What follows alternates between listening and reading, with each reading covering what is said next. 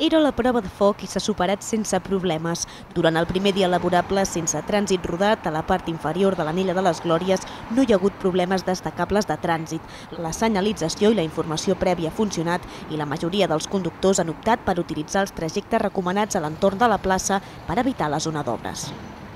L'únic aspecte que ens estem trobant és que els conductors estan, doncs, estan aprenent els nous itineraris per anar eh, d'una banda a l'altra i, i sí que tenim conductors doncs, que no segueixen l'itinerari, diríem, millor per anar, per anar d'un barri a un altre. Canviar els hàbits dels conductors és una de les tasques que fan els informadors.